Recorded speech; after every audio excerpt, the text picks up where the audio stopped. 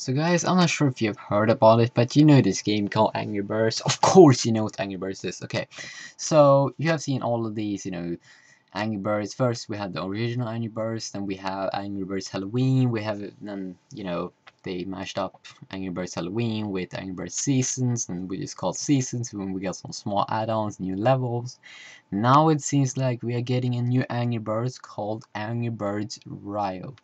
And uh, the cool thing with this Angry Birds Rio is that it will feature 45 new levels and this Angry Birds game is based on a movie that is called Rio that's going to come out this summer and this game is going to be all about that you need to save the two main characters in this movie Rio. So Angry Birds is going to get some new kinds of characters characters in the game.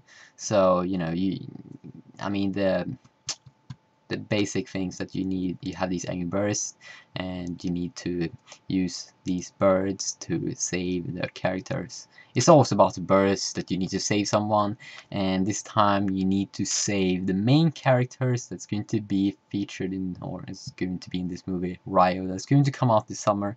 And I think it's kind of you know a cool way to market a new movie by including it in one of the, the you know most popular handheld games right now.